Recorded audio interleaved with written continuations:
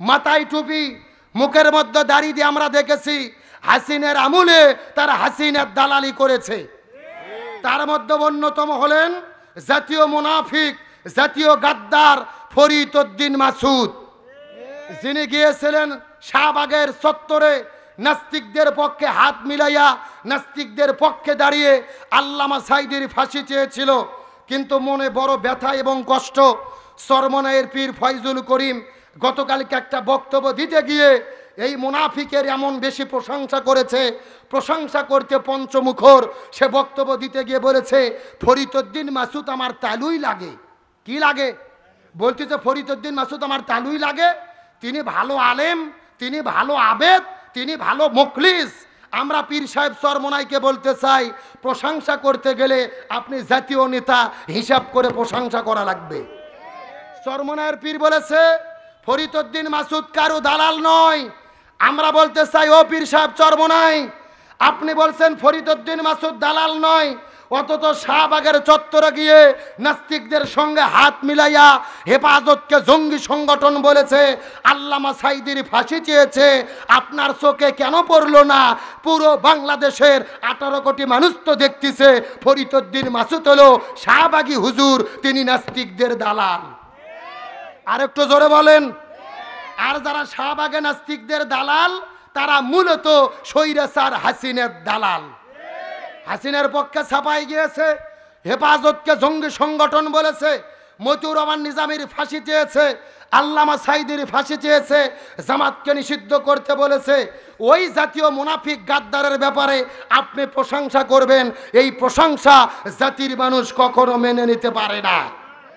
আমরা তো দেখেছিলাম ফরিদুদ্দিন মাসুদকে। তার বিরুদ্ধে আল্লামা মামুনুল হক মিছিল করেছে, কওমি সন্তানেরা মিছিল করেছে। তার কারণ ফরিদুদ্দিন মাসুদ হেফাজতের বিরোধিতা করে হেফাজতকে জঙ্গি সংগঠন বলেছিল।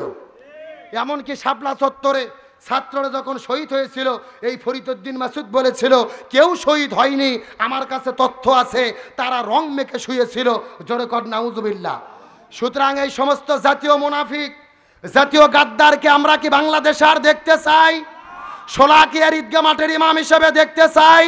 জাতীয় মসজিদের ইমাম দেখতে চাই? আর একটা তেলতেলা হুজুর হলো ডক্টর কফিল উদ্দিন সরকার সালিহি।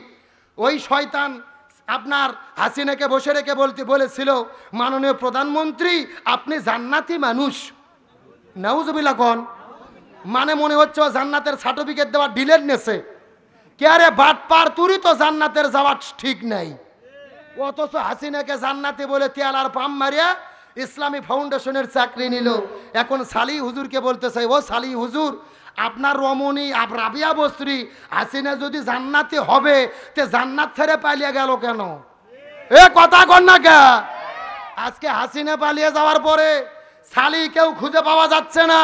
আমরা বলি, যারা হাসিনাকে তেল মারে চাকরি নিয়েছে এদের ইসলামী ফাউন্ডেশনে চাকরি করার আর কোনো অধিকার নাই।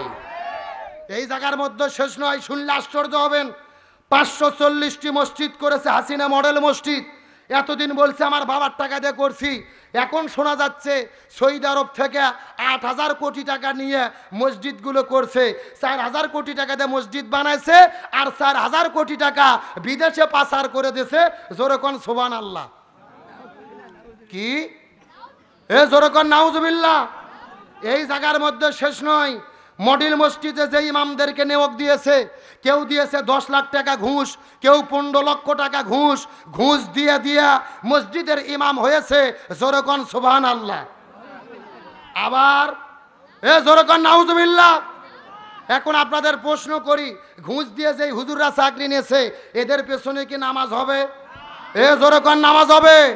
আমরা স্পষ্ট করে বলি যেহেতু রাষ্ট্রের সংস্কার চলতেছে, এই ঘুষ দিয়ে হাসিনের পাশাটে যেই মুনাফিক হুজুররা ইমাম হয়েছে, এদেরকে বাদ দিয়ে হক্কানি আলেমদেরকে চাকরি দিতে হবে। যারা কোরআন হাদিসের হক কথা বলে, সত্য কথা বলে, এমনকি মসজিদ, মাদ্রাসার কমিটির সভাপতি হয়েছে, সুৎখুর, ঘুষখুর, বাটপার। এমনও সভাপতি আছে, মসজিদের সভাপতি। সুরে ফাতেহা পড়তে দিলে ছয়বার প্রসাব করবে। এ কথা কর না ওই হাসিনার দলের লোক ছিল, ক্ষমতা দেখাইয়া সভাপতি, সেক্রেটারি হয়েছে, সময় এসেছে, হাসিনের কোনো দোসরদেরকে মসজিদ, মাদ্রাসার সভাপতি রাখা যাবে না। তার কারণ তারা এতদিন সভাপতি ছিল, ক্ষমতার জোর দেখাইয়া কোনো মানুষ তাদের ভালোবেসে বানাই নাই। রাষ্ট্রের সংস্কারের পাশাপাশি এগুলো সংস্কার আমরা চাই কি চাই না? আমরা এই সমস্ত মোনাফিকদের বিচার চাই কি চাই না? বাংলাদেশের আর এক মোনাফিক হুজুর মুফতি গিয়াসউদ্দিন তাহেরি এ কথা কর না কা। তাইরি হুজুরকে আপনারা চেনেন না? বসেন বসেন, বসে যান, চা খাবেন, ঢেলে দেই। এই তাইরি ছাত্র আন্দোলনের বিরুদ্ধে ছিল। তার পেজে এখনও পোস্ট আছে ফেসবুকে দেখবেন। ছাত্ররা যখন আন্দোলন করেছিল তাইরই পোস্ট করেছিল, ছাত্রদের কেন কোনো বিশৃঙ্খলা করার দরকার নেই, তোমরা ঘুরে ফিরে যাও, শেখ হাসিনের পায়ের তলে যাও, তার পরামর্শ শোনো, আন্দোলন করো না, গাড়ি ঘর ভাঙো না, এগুলো বলে হাসিনা ছাত্রদের, আপনার তাইরি ছাত্রদের বিরুদ্ধে দাঁড়িয়েছিল। সুতরাং তাইরিকে বলব, তুমি যদি জাতির সামনে ওয়াজ করতে চাও, জাতির সামনে তোমাকে লাইভ এসে ক্ষমা চেতে হবে। আরও জোরে বলেন না কেন? আর যদি তুমি ক্ষমা না চাও এই জাতির সঙ্গে গাদ্দারি করেছ, ছাত্রদের বিরুদ্ধাচারণ করেছ, বাংলাদেশের যেখানেই তুমি যাবে, সেখানেই তোমাকে গণধোলাই করা হবে। তার কারণ হাসিনের দোসরদের এই বাংলার জমিনে ক্ষমা হতে পারে? আরও জোরে বলেন, পারে? তাহলে যুগে যুগে মোনাফিকদের কোনো ক্ষমা নেই। আমার নবী জানাজান নামাজের ইমামতিত্ব করেছে আবদুল্লাহ ইবনে ওবায়ের সত্তর বার দোয়া করার জন্য হাত তুলেছে। আল্লাহ নামাজও কবুল করেনি, দোয়াও কবুল করেনি। আজকেও বাংলাদেশে হাসিনের পক্ষে নিয়ে যারা মোনাফিকি করেছে, এদের জন্য হেদায়তের দোয়া করে কোনো লাভ নাই। এদের জন্য আল্লাহর পক্ষ থেকে আজাব এবং গজব।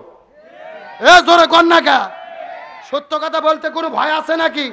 ষোলো বছরে বহু কথা আমরা বলতে পারিনি। হুজুরদের মুখে হাসিনা লাগাম দিয়ে রেখেছিল। আর কোনো লাগাম নাই, কোরআনের কথা চলছে, চলবে। রাজি আছো মুসলমান? কারা কারা রাজি? হাত উঠান তো দেখি। লিল্লাহে তাকবীর।